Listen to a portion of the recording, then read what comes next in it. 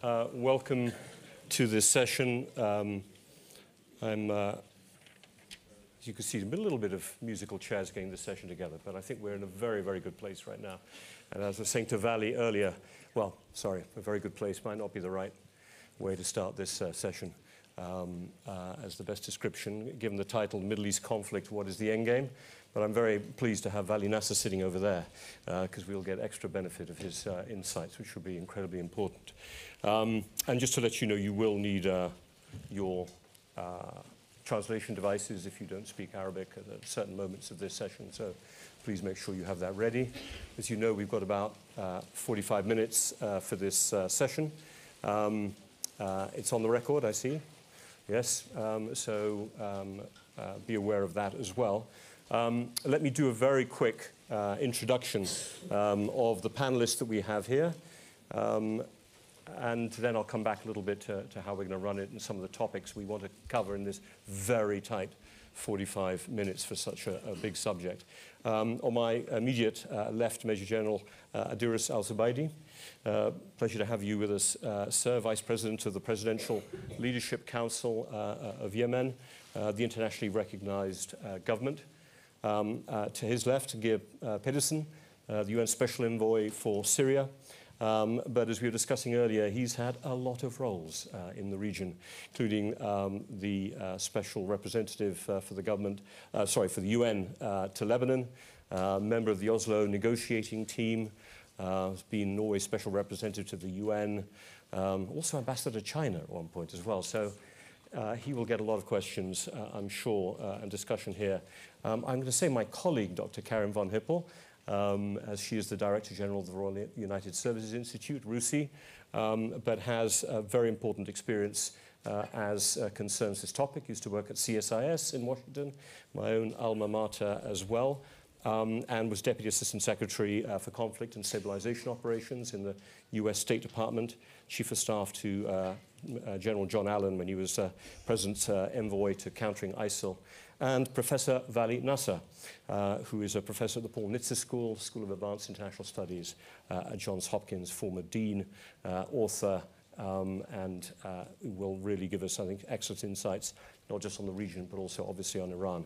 Um, I want to be able to move through this subject. Let me just do a frame setting two comments um, for all of you. Uh, the first would be we've got this title, What is the End Game? But I think the end game at the moment is uh, is this conflict spreading, clearly, or is it escalating? Yeah? Because a lot of the things that are happening at the moment, including kidnapping uh, uh or taking of uh, vessels, uh, hitting of vessels in the Straits of Hormuz, these are things that have happened in the past. Yemen has been uh, in a civil war for a very long time. But it's like all of these things are happening simultaneously. Is it spread or is it escalation that we really need to worry about? And I just wonder if you can keep that theme in mind. And then uh, if we can get towards the end of this session to what is uh, likely to be uh, the end game, uh, can we see a future that is stable? Can we see a future that is peaceful? Uh, two very different kinds of end games. Because just a few months ago, um, uh, prior to October the 7th, the sense was this was a region moving towards potentially longer term uh, stability. So, um, with those uh, points in mind, let me turn first uh, uh, to you, Sir, Mr. Al Zubaidi. Um, let's start with the first example of spread or escalation, which is the situation in Yemen. Uh, the US and some of its allies have done strikes against the Houthi uh, rebels who've struck uh, ships uh, passing through uh, the straits up through to the Red Sea. Um, do you think this is going to be successful? Is it raising the prospect of an escalation of the conflict in Yemen? Or is this going to hit a new normal where um, one just has to worry the Red Sea becomes a very unpredictable route uh, what's your sense of the, of the current situation? And do you think these strikes are going to make a difference? Is it going to escalate, or can we hit some type of stability? بسم الله الرحمن الرحيم والصلاة والسلام على أشرف الأنبياء والمرسلين. شكرا جزيلا بالنسبة لما يحصل في باب المندب بالذات من تصعيد من قبل الجماعة الميليشيات الحوثية هو مسألة خطيرة جدا طبعا وتؤثر على حياة الناس المعيشية والإنسانية في اليمن وانقطاع الإمدادات عليهم لأن معظم السكان اليمن يعيش على أكثر من 80 إلى 90% من من الصادرات من الخارج طبعا الغذاء والدواء والطاقة. ما قام به الحوثيين هو عملية طبعا غير مقبولة والردع الذي قامت به أو الردع بداية الردع الاستراتيجي الذي قامت به الولايات المتحدة وبريطانيا هي عملية صحيحة ونحن نطالب طبعا باستمرار هذا الردع حتى يتم يعني انهاء إنهاء يعني القوى العسكرية التي يمتلكها الحوثي والتي يؤذي بها المجتمع الإقليمي في باب المندب. وهذا التصعيد يؤدي إلى تفاقم الأزمة طبعا إذا استمر بهذا الحال ولم يحصل على ردع استراتيجي وشامل تقوم به طبعا الولايات المتحدة وبريطانيا ويعني المجتمع الدولي بشكل عام والإقليمي. ندعوهم إلى ردع استراتيجي و يعني توقيف ما يقوم به الميليشيات الحوثية من قرصنه أو من يعني أعمال. يعني يعني لا علاقة لها يعني بما يحصل في فلسطين. طبعا هو يحاول أن يجذب الرأي المحلي ويزيد من شعبيته في هذه الحالة. ولا علاقة طبعا لها. وباب المندب طبعا ممر دولي آمن وممر يعني يهم الإقليم بشكل عام والعالم بشكل عام فهو ممر دولي وعلى المجتمع الدولي الأمم المتحدة والولايات المتحدة الجامعة العربية وكل الدول بالإقليم عليهم حماية هذا الباب وعدم تركه للتصعيد الحوثي الذي يستلم توجيهاته من إيران طبعا If I can just follow up with one question. I mean, it was notable that the UN uh, resolution that took place just beforehand um, uh, was not unanimous, but there was abstentions from Russia, uh, from China, uh, about being deeply critical of the actions of the Houthis, telling them to stop. But countries in the region, including Saudi Arabia, maybe UAE, seem to be more cautious about the kind of military actions that the US and the UK are taking. Do you think there's, how aligned do you believe your allies in, in the region, uh, in the Gulf region, are with the military action being undertaken by the US and UK in particular with the support of their allies? أعتقد إن حلفاء الولايات المتحدة في المنطقة تعرضوا إلى ضربات صاروخية والطيران المسير خاصة المملكه العربيه السعودية والإمارات العربية المتحدة ولم يتحرك طبعا الاسرقه الأمريكان طبعا والبريطانيين معهم عندما قصفت يعني حقول النفط وقصفت طبعا الرياض وأبو ظبي لم يحصل تحرك وهم الآن في حالة ترقب طبعا لكن المصلحه الامميه والمصلحه الاقليميه تقضي على تشكيل تحالف دولي للجم الحوثيين وضرب بنية التحتية الصاروخية والمسيرات طبعا Thank you very much. Let me just keep moving down the line. Uh, Gear, we're talking about, I'm talking about, uh, certainly uh, spread versus escalation. If you have something to say on the Yemen question, please do just come in on the back uh, of the comments. Uh, but um, the other part of the world that we're looking at, or the region, uh, where this threat of escalation and spread is very live, obviously, is in southern Lebanon and potentially into Syria. Uh, it looks as if the Israeli government uh, is going to want sort of two buffers a buffer somehow around Gaza, but probably now uh, the implementation of the UN resolutions to have a true buffer so it can move its citizens back to northern Israel. Um, how worried are you about sort of spread where there is some violence, there's already shelling taking place, or escalation? What's your take on that part of the world? And anything you want to say on Yemen, obviously, we welcome. Um, I'm extremely worried. Uh, I think we have both seen uh, spread and escalation. You know, if we look at the situation since the 7th of October, uh, we have seen what we before the 7th of October would have called a warlike situation yeah. between Israel and Hezbollah. Hmm? We have seen both a spread and escalation in Syria. We have seen dozens of attacks on US positions inside of Syria from what the US claim are Iranian supported groups. Of course, Iranians are very clear they have nothing to do with them. Then we have seen a few US attacks against these groups. Then we have seen some of these groups attacking Israeli positions in occupied Golan. And we have seen Israeli attacks against these groups and some Syrian government positions in Syria, and increased Israeli attacks on different airports and positions inside of Syria. So the war is spreading. It's been an escalation. The question is now, can we contain it? Right. I, my, my opinion, but this is an opinion and it's to be challenged, is that I do believe the Iranians do not want further escalation. I think they're playing with fire. Hmm? I think it's pretty clear Hezbollah do not want a full-scale war. As you alluded to, I, I was a UN envoy to Lebanon in 2006 and negotiated Security Council Resolution 1701, who is now sort of what we are discussing when it comes to the full implementation of that in Lebanon. Several details on that that I will not go into, but I think the question is what you said, and that is, will the Israelis stop in Gaza, or will it develop further? I, I, again, my personal opinion, this is also very clear that the Americans do not want this, but the question is, can the Israelis be contained? So I think for this to happen, we need a quick end to the war in Gaza. We need humanitarian assistance, and then we need to develop a strategy that is not only, and I know this is a tall order, but a strategy that do not only include Israel, Palestine, but the broader region. And later on, I have several ideas when it comes to this. Well, wonderful if we can come back to this. Just one quick question. This whole language of proxies and not proxies of Iran, how do you read the sense of independence of action of Hezbollah today compared to, let's say, previous years? Obviously reinforced by the very important role they played in upholding the Assad government in Syria. Um, you know, heavily armed and increasingly armed, uh, involved in the government in Lebanon.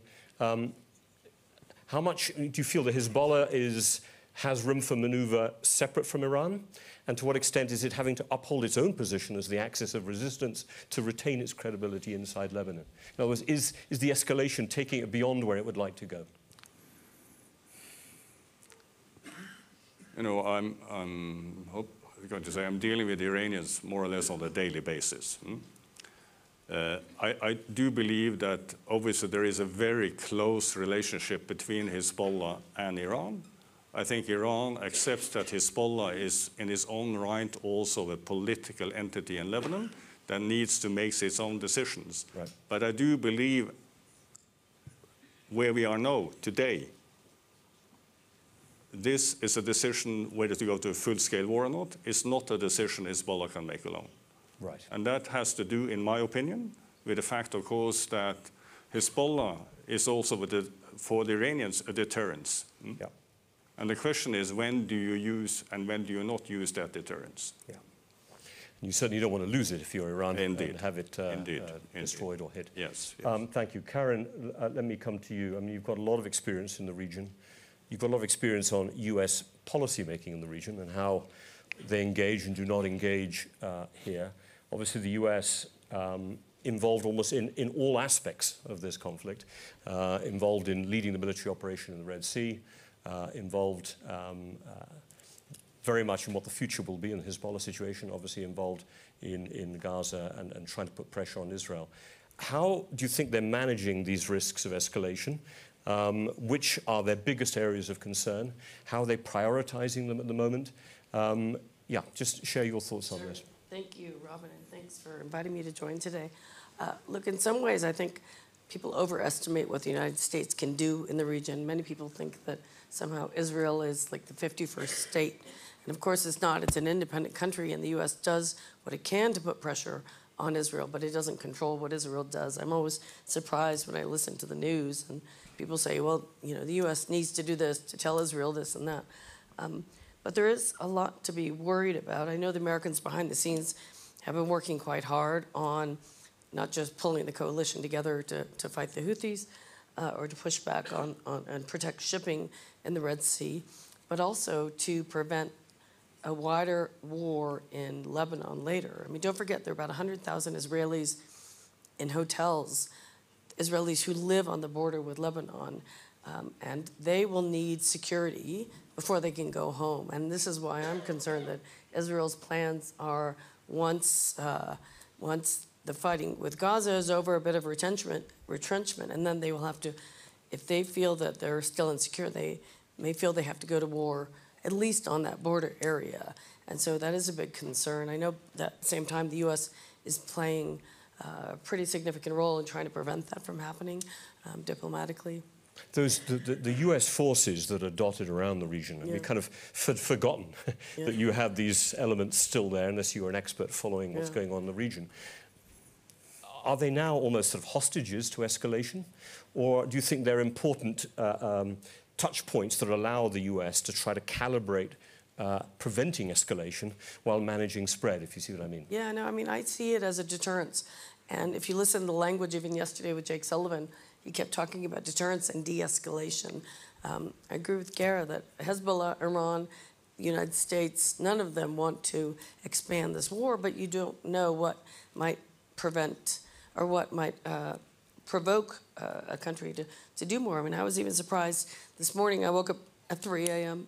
somehow, and I wasn't even sure this was true, but Avali will share that Iran sent some missiles into Pakistan, which is, you know, that's a, a strange potential escalation. Anything like this could blow the region out of proportion and make it much more difficult. But at the same time, let's not let's not forget that you know at least over the last decade, pretty much the majority of the countries in that region have been involved in some sort of civil war or regional war, whether it's Syria, Libya, Yemen, um, Qatar versus Saudi, um, troubles within Lebanon, and all of those conflicts have involved external forces supporting militaries and militias inside, and yet none of those did spill over. So I do think uh, everyone is very, very conscious of what war looks like because it wasn't so long ago that so many of these countries Yep. were dealing with that, and no one wants to go back to that.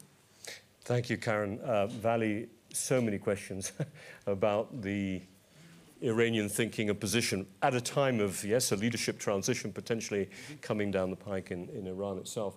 But it, it strikes me that with the deal that had been done under Chinese auspices with Saudi Arabia, Iran was heading to a sort of place where there was a, a different future, one in which it was tacitly observing the uh, JCPOA to, to kind of limit its nuclear enrichment, in which maybe there was some type of economic future for itself connected to China, maybe to Russia, maybe as uh, in a more stable uh, Gulf region. All of that is gone, it looks at, the moment, or is it? So the question to you, is Iran um, welcoming? How is it able to use this moment? Um, is this a moment that it's trying to put the lid on because the old future is the one that they, they want to get back to, one of stability? Or is it a tiger they're having to ride that they have very little control over? How do you see, how do you think the Iranians see the situation right now? I mean, uh, I think the, their, their read of it would be, and not only them, but also the rest of the axis of resistance, but also I think other governments in the region, that the old order uh, is basically shattered. October 7th essentially ended the order that, you know, Saudi Arabia was thinking about normalization with, with Israel, was thinking about a shiny uh, economic boom in the Gulf. You know, that, that whole order has fallen apart, not just because of Before it ever emerged. Before it ever emerged. But, but if, you, if we went back to October 6th, as, as Geir said, we would see a very different Middle East. Now, uh, the new order isn't there, and I think the Iranians, Hezbollah, everybody is trying to sort of gain this. And as you, I mean, as you mentioned at the very beginning, uh, and Geir, Geir put it very well, we're seeing both escalation and spread of conflict. And I think the Iranians are trying to manage this. And, and I, it's important to note sort of what are they looking at and why they're acting the way they are.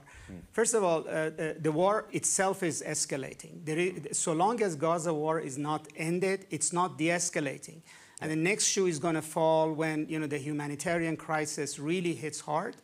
And, and, uh, and so long as the United States and Europeans, et cetera, don't have any plan for ending this war and Israel is not ready to do it, we are in an escalatory mode. So we shouldn't kid ourselves. Right. The war is ongoing. It's going through phases. It's not bombing, it's not starvation.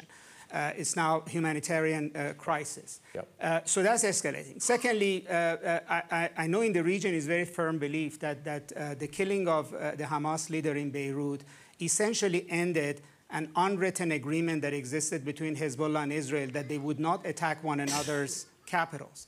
So I think Hezbollah's view is actually that Israel is coming for it in a very big way. So it's not about whether Iran pushes the button. Israel, uh, Hezbollah itself is increasingly in a survival mode. So it's not about uh, just acting on Iran's behalf.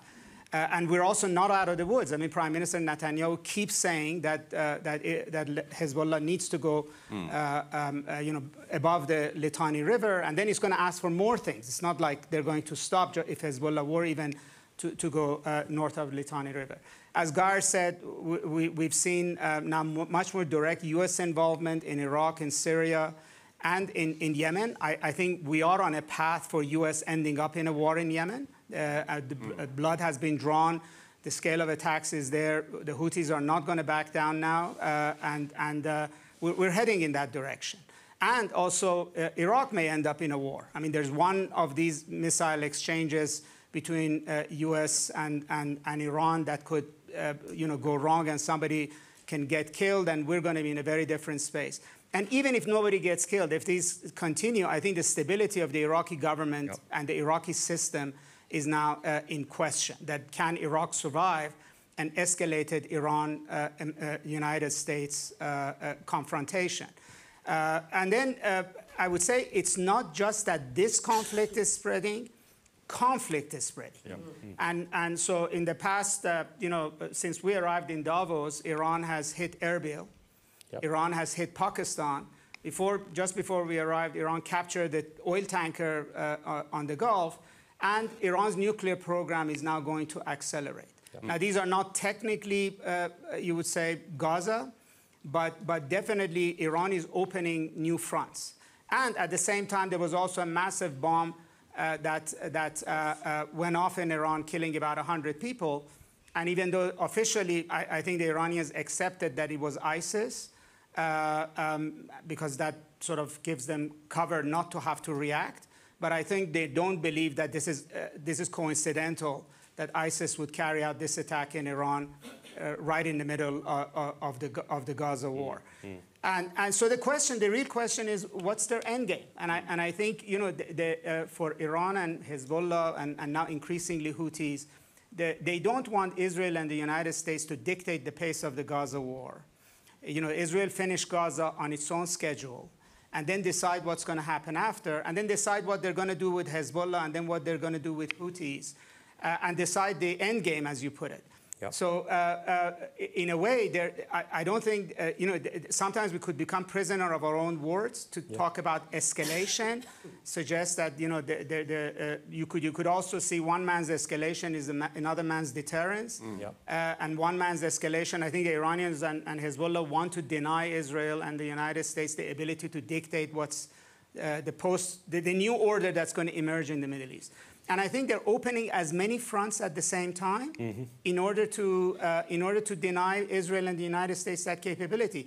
I mean, you know, we constantly talk about Houthi-Iranian relationship, but it's very important to note Houthis are very close to, to, to Hezbollah. Yeah. In some ways, more close to Hezbollah than they are to Iran, and that the Houthi escalation actually uh, got into full gear after the Israeli assassination of the Hamas mm-hmm. leader. Yeah. In other words, once Hezbollah came to a belief that a, a, an expansion of war into Lebanon looks imminent, and Israel has now put aside the 2006 agreement, the Houthis opened the Red Sea front. Right. And, and so, so there, is a, there, is a, there is a logic here more than just wanton escalation. Mm-hmm. Yeah. We can see it's going to be so difficult to do justice to, uh, mm. to all of these topics in the very limited time. I see we've got 20 minutes left, and I do want to leave 10 minutes for some questions. So please, uh, those of you who've got some ideas, please uh, have them ready and have them short and to the point, um, which would be uh, very helpful.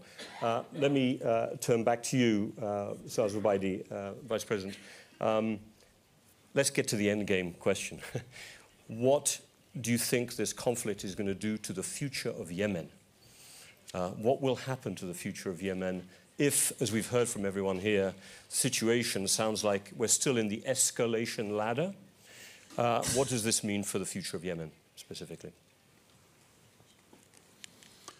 آه، مستقبل اليمن مع وجود الحوثي والتهديد والتصعيد المستمر سيكون طبعا آه، بانتظار كارثة إنسانية لم يسبق لها مثيل ونحن ندعو طبعا الولايات المتحدة والمجتمع الدولي إلى تشكيل يعني طبعا آه، إلى تشكيل آه، يعني آه، مجموعات يعني لحماية باب المندب والممر الدولي هذا الآمن لأن الممر الدولي يتبع الأمم المتحدة ومستفيد منه كثير من الدول.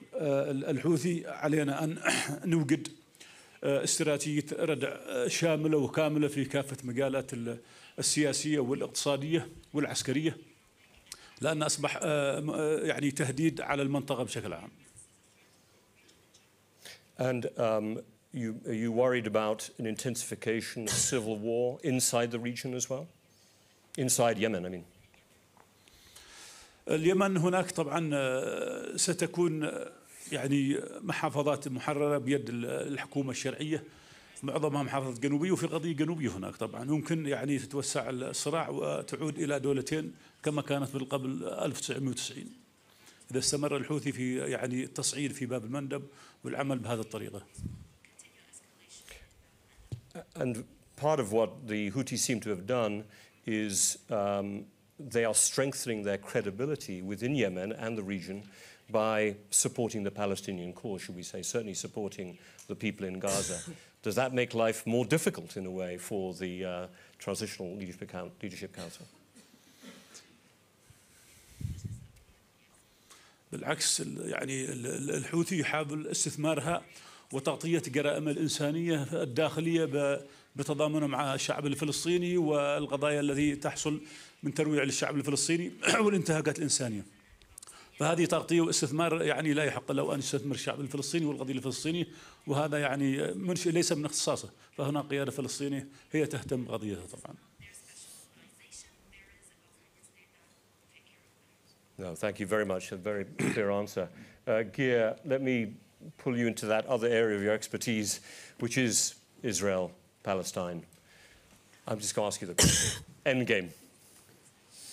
What's the end game? Um, I'm sure you've got a very quick answer on that. But, uh, a, a very simple and quick answer is that there, if we want a solution to this crisis, the only way out of it is a two-state solution.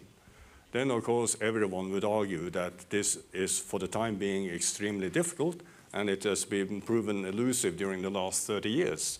But I think what the 7th of October shows is that there is no way that the Palestinians and the Israelis are going to live together in one state. hmm? So there is, there is, if there is no two-state solution, then there is a one-state reality that will be an apartheid state. And I think that should not be acceptable to anyone. So the point is, we need to make, you know, and here, I, I you know, here is, is a challenge to my American friends.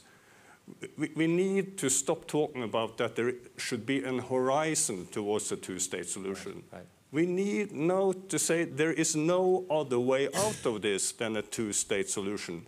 And we've been waiting for 30 years. You know, my Palestinian friends that have been born after the Oslo Accords have been living in what they see as a one-state reality. hmm? Because of that, the belief in the possible two-state solution has been diminished. huh? yeah. And I, you know, just an anecdote. When I, I lived in Jerusalem during the late 1990s and the beginning of 2000, at the time the support for Hamas was, yeah, let's say between 5 to 10 percent. And I remember in my discussion with my Israeli friends, they said, listen, start to take this seriously. If not, you will end up with Hamas as your interlocutor. Today, we have both Hamas and Fatah as realities, but we have other also other sentiments. The question now is, if we don't deal with this now, Hamas and Fatah may be history. Right. There may be other things happening in Palestine that no one likes to see. And since this is my favorite topic that I'm not able to talk about every day, let me just add one other thing. Of course, for this to become a reality, settlement activities needs to stop immediately. hmm? And, and, and on this, there can't be any compromise. huh? There needs to be a very clear, and, and, and we, we know there are limits to what the Americans can do, but on this there needs to be a very, very clear statement. And if this doesn't stop, we basically what we're doing, we're undermining the possibility to see that the end game will emerge. And this is in no one's interest. Yeah. Ask me about Syria a little bit later. exactly. We'll see. Hopefully, you'll get a question on that. Um, uh, uh, all the things that Geir hasn't been able to cover, hopefully, somebody will ask a question on that. So, uh, let me turn to you now, uh, Karen. This conflict, this, the big question is this does it have a geopolitical spillover? Um, where does the US play this with China? Are you expecting China to step up? There's no sign of their desire to do that at all at the moment. Russia seems to be keeping fairly quiet at the moment. Do you think this is fitting at all into the calculus of the Biden administration? They've got so much on their plate. Um, uh, yeah, how do, you, how do you see that? Great question. Uh, the U.S. has been trying to pivot to Asia for some time, all the way back to when I was in the Obama administration. And then, of course, it keeps getting distracted by events in the Middle East. Um, I don't speak for the U.S. government, just to point that out. I just I worked for them years ago, but um, look, I think it's interesting to see that uh, you know watching Russia insert itself since September 2015, as Geir remembers when they arrived in Syria militarily, getting involved in the war, they made themselves indispensable in any conversations about peace um, in Syria going forward. China has been very involved in the region uh, financially, investments, and then of course they did this amazing rapprochement surprise really between Iran and Saudi Arabia. So it's quite interesting that neither of those countries are playing a at least a, a role up front in terms of trying to push for a diplomatic solution to this challenge. I'm sure behind the scenes there's a lot going on that I don't know about, including I'm sure between the U.S. and uh, China in particular. But it is interesting that at the end of the day, the U.S. is still leading on diplomacy um, going forward. It's also interesting that, uh, as we've seen with the war in Ukraine, these wars are not contained, right? I mean, Ukraine has had a huge effect at the global level because of the spillover financially, because of you know food shortages, energy shortages, uh, the co- economic challenges uh, from from that war, and then of course the Middle East because there's globally there's so much emotional investment in the region and in what's going on. We've seen protests all over the world, which you don't see for other conflicts. I mean, I don't know if anybody noticed, but in September, the Azerbaijanis basically pushed Armenia out of Nagorno Karabakh, and I didn't see one protest in the streets about that. So, you know, these conflicts uh, do have a global spillover effect, and I think the Americans are very aware of that, and they're working very hard. The question is, how much leeway will they have, especially while Netanyahu is in power? And, and just on that, do you think the US election at the end of this year serves as a, any kind of spur? Does that ever any kind of feed into um, uh, US positions and, and the kind of action that, if this war is still going on, or some version of it, uh, you know, we're heading into November, October, November, do you think this is playing at all out in Washington? You know, I think in this particular case, it's different from Ukraine. Um, Trump, you know, obviously thinks he has a very special relationship with Netanyahu um, and, and with many Gulf leaders. Um, but I, I don't think in this case that that is a factor right now. It's certainly a factor in Ukraine because of concerns about continued weapon supplies being Yep. cut off. But I don't see it in the same way anyway. Um, Vali, let me come to you again. Pick up any points you want, but you mentioned, uh, I wouldn't say, well, I'm going to say it tantalizingly, the um, massive increase in Iran's nuclear program since October the 7th, enrichment up to uh, what 90% now. I mean, a real escalation of the situation compared to where it was before. Um, what does this tell you about Iran's uh, approach to future regional security? Have they now just decided any kind of relationship with the West, the future US government, Europe, is kind of forget it. We now lean more on Russia, we lean more on China, we can pursue our own direction. Is that part of what's driving their uh, approach to this conflict? Well, I think in, in the very short run, uh, uh, I, th- I think it's a way of, uh, as I said, to spread the conflict. In other words, if we begin to read more news about 90% enrichment, then uh, that's going to become also uh, another topic the U.S. would have to address. Right. And then, as uh, uh, that doesn't worry them. I mean, no, because, because I think you know they, they, they've uh, uh, their calculation of how far escalation would go uh, and uh, before there's an actually outright war, it might be very different uh, from ours. Yeah. And I think right now, um, you know, the, the, the, this, the, I think the view of, of this axis of resistance is that it's going to be much worse for them to, to end up living in a, in a Middle East that is completely dictated by the by U.S. and Israel than than than uh, uh, than otherwise. Yeah. So so I think they're exploring the margins, but but uh, and it's very clear in their strategy that they are they are pushing. So you know attacks in Iraq, uh, capturing tankers. Working with, with, their, with their allies in the region, and then the nuclear issue, all, all of the, which suggests that you know, they're, they're trying to push the U.S. in, in all sorts of ways. Right.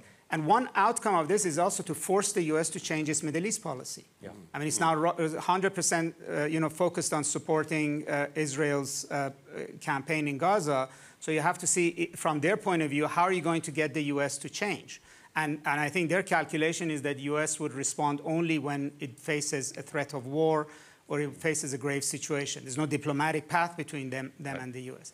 And but I also think that if they see a Middle East in which they're going to be in a much more uh, aggressive posture with Israel, which I think is inevitable, that you know this war, if anything, has raised uh, the the possibility of a direct confrontation between the two of them in the no- next five years, several notches up. That you know having nuclear capability is now more important to them than than it was uh, it was before. I don't think the door on you know possibility of uh, a, a nuclear agreement is 100% closed. Yeah. But you know, it's only a sliver of light left. Okay. And nothing's going to happen in this year because it's election year. So I think their calculation be if there's going to be ele- uh, talks with the next administration in the U.S., it's much better if they have their have a lot more leverage at that point, more stockpiles of nuclear weapons, more centrifuges, Exactly. et cetera. And, and Gaza is a perfect cover. I mean, we don't, the, Israel doesn't have a bandwidth to threaten bombing Iran right now, and nor does, nor does the U.S. So, so they're taking advantage of that as well. Okay, bleak enough for everyone in the room. Um, so let's take some questions. We've literally got eight minutes left, so please uh, quickly introduce yourselves. I've got two hands going up. I might take them as a group, three hands, four. Right, that, I might even have to stop there. Uh, so uh, if you want to direct them to one of the speakers, obviously that would be helpful. Please say who they are. Very quickly say who you are as well, uh, and let's take it. So first, the two ladies there, the one on the left, my left. And then I'll come to the gentleman here, and then I'll come to the other lady next to you, and then there was another hand somewhere around here. Sorry, you're first. Yep, you with the microphone. Yes, please. Hi, um, this. Hi, uh, this question is for Karen. Um, I'm a young person representing the Global Shapers community of young leaders. Um, this is uh, regarding the comment about uh, Israel not being a 51st state. Um, I just wanted to comment. Um, it's uh, the U.S. is still heavily funding the Israeli military, uh, including a 14 uh, billion dollar aid package, which uh, largely funded weapons, um, contributing uh, to uh, the genocide. Um, but U.S. citizens, like you said, are marching throughout the country um, uh, opposing this. Um, and as a young person uh, who hopes for a future um, of peace, um, what do you think the U.S. government's uh, end game is here um, uh, for the war? Uh, uh, as a young person, we hope for a future without war and for peace and for a future where all young people um, can live in harmony. And so uh, I just hope that you can answer this question for us. Thank you. And Karen, hold your thoughts uh, replying that, because that's a very important question that needs probably a bit of reflection on how you want to answer it. The gentleman here? Yep, please. Uh, microphone is going to come to you. Yeah, the second Oh, lady. um, I tell you what, I'll take the second question there because the microphones can stay together. Sorry, I apologize. Yeah. Problem. My name is Rana Dajani. I'm a professor from Jordan. I'm originally Palestinian and Syrian, as most of the region. My question is to all the panelists. Uh, with, following up on the earlier question, with all the disconnect, uh, disconnect from the whole globe marching against the genocide unfolding in Gaza, which is the root cause of all of this, by the way.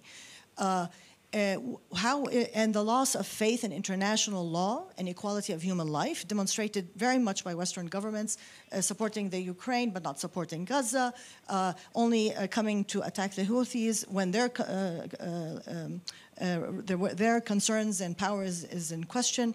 So, and the stepping in of South Africa to file the complaint in the ICJ for the genocide. How do you see, see a shift of power in the world from the global Right. north to the global south? And is this, and BRICS, and how is that going to um, contribute to the end game? Thank you. Thank you. Um, somebody could bring a microphone here to the front here. No, here it is. Here it is. Please, microphone. Yep, to that person. Thank you very much. So my perspective is that of a are former, you? a former Iraqi ambassador to the United States. I'm currently the climate envoy. Actually, I'll stand up. Yeah. I'm older than the people who spoke, so I remember things having read about them. Um, there is a precedent where the United States intervened forcefully to force Israelis to withdraw, and that's the Suez Crisis. Suez crisis. Yes. And what, I, 56, and, yes. I'm, and what I'm surprised about is that nobody has picked this up. Many years ago, I had an argument with Flora Lewis, which really dates me, uh, about history, and she said, comparaison n'est pas raison. To her, I answered, not necessarily. My question to you, uh, to the panelists, is why can't President Biden be more like President Eisenhower and force a withdrawal of the Israelis? That's a big question, but very interesting one. Right, I think as I can't see the fourth hand anymore, I'm, and we're very tight on time. Oh, very quick. Sorry, just there. Yeah, if you can take it down to the front row. Very quickly, if you don't mind, sir. Yeah, actually, as I can see, this is a humanitarian issue, not a political thing. Uh, end game for the Palestinians. I think you asked the same. What is the end game for the Palestinians? Because you're talking about when Israel ends the Gaza issue. Okay, what about the Palestinians? Thank you. Thank you. Right, um, we've got big questions. Let me give an opportunity for each of you to say something, but I'm going to I'm going to make it very, very difficult for you because at the end of your answer uh, to the questions, I want to, you to give me a number. Okay? You have to give me a number. Number one is, at the end of this year, we're still roughly in the situation we're in now. Yeah? That is the end game going into 2025. That's number one. Uh, number two is actually there's a breakthrough. Some type of move towards greater stabilization, including on the Palestinian issue. We've got some sort of ceasefire. That's number two. Number three is where uh, Vali was taking us. Actually, the end game of this is Israel versus Iran at some level. Um, yeah, I'll let you define how that is, but that it escalates to a point where they each feel that they've made each other so insecure. That's number three. That has impacts, obviously, on the whole region. So, um, sorry to put you in that position, Vice President. If you don't want to take a number, you don't have to. But, um, but uh, uh, I'll let you maybe answer that question, and then some of the others have questions about Palestine and U.S. policy. And we only have two and a half minutes theoretically to do this. in. That's why I'm giving you numbers. انا انا انا اتفق مع المتحدثين ان الشعب الفلسطيني بحاجه الى اقامه دوله مستقله وبامكاننا الرجوع الى المبادره العربيه التي قدمها الملك آه، الراحل عبد الله بن عبد العزيز آه، وهي من توجد الرقم اثنين في حاله الاستقرار باذن الله تعالى. You choose number two. I've got a tick next to two. Thank you very much. Please. Uh, I choose number four. and number four is the following. Uh, what we're seeing playing out in, in Gaza is basically the old world order, some way or another, coming towards an end. Right. What we are seeing in Syria is that the new world order is not in place. hmm? Yeah. But it's a place where no one can dictate the outcome. And I remind you, in Syria, there are five foreign armies. It's a place where the, where Iranians, the Russians, the Americans, the Israelis are on the same territory, hmm? and they're not capable of working out a vision together on how to solve this. And I think of a message, as my message is and needs to be, is that none of you, when it comes to this world, can dictate the outcome of the conflict. There needs to be some kind of a compromise, some kind of working together.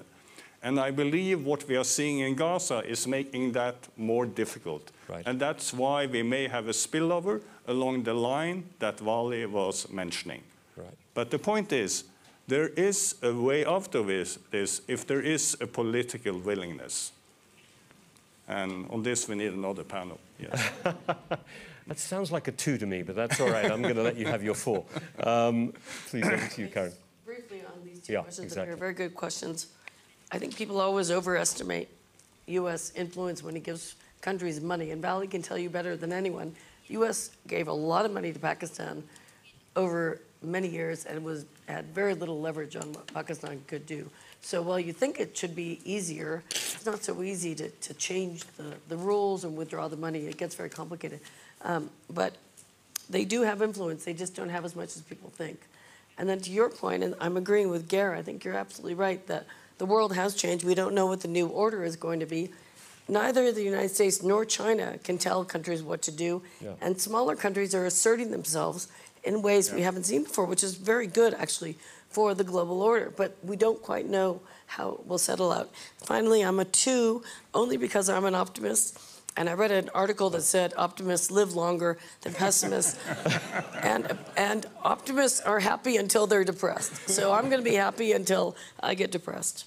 Very. Okay. Um, Vali, over to you. Last words. So I, I would say uh, to the questions that were raised here that for the first time, global public opinion is an actor here. I mean, if so, that's one of the things that actually can force a change in the United States and Israel uh, as well. And if you listen to Hassan Nasrallah's speech of January 3rd, you could see how much emphasis he was putting on, on global public, public opinion. Secondly, um, I would say that, uh, as Geir said earlier, unless the United States looks beyond just Gaza and looks beyond what happens in Gaza and thinks about a, a, a much broader sense of regional security, then we're on number five. And I would also say that one conclusion of this um, panel should be that the job of managing all of this should be given to Geir. So And what's your number? what's your number? One, two, five. Oh, that was. I, I'm never going. conditional five. I'm never going to try numbers again. That was a failure. Um, but uh, thank you very much. Look, that we covered an enormous amount of issues. We've only got a minute and a half over time. Um, uh, and so, could you please join me in thanking an excellent panel? Thank you for coming.